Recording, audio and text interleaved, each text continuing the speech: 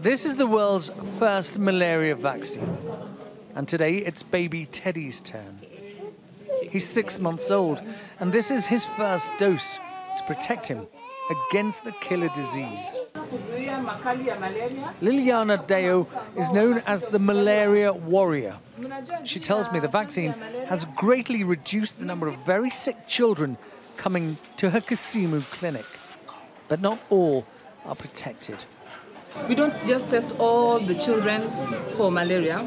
Um, like this one here has a fever. The mother says the child has got fever, vomiting, and uh, cough. So these are suspects for malaria because one of the critical symptoms of malaria is fever. The vaccine will be rolled out across sub Saharan Africa to the communities that need it most. We drove a few hours south of Kisumu to a town that is in desperate need of help. This is Homa Bay,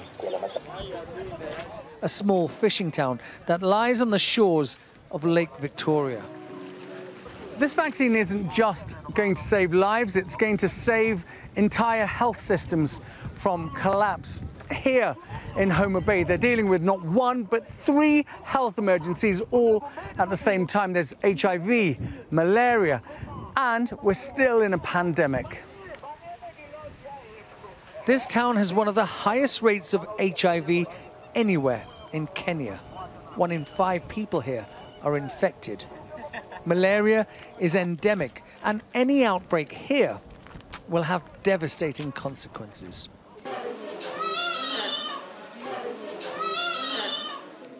Bella came to hospital three days ago. Her little body had swollen to twice its normal size. She had a high fever and is severely malnourished. Blood tests confirmed Bella has both HIV and malaria. Her grandmother needed counselling when the news was broken to her.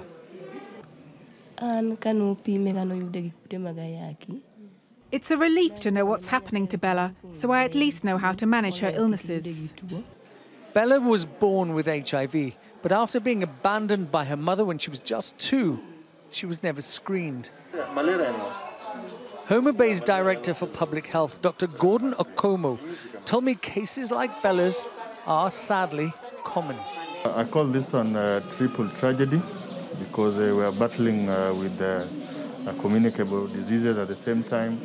We're battling with the non-communicable diseases, and of course, we're in the mix of the pandemic. So this is taking toll on the health systems.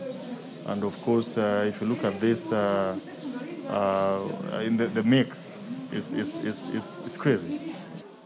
Bella's malaria and HIV treatment has started.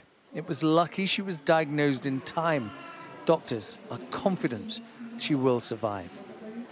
The malaria vaccine will mean Homa Bay could, in the future, have one less health crisis to worry about. Ashish Joshi, Sky News, Homa Bay, Western Kenya.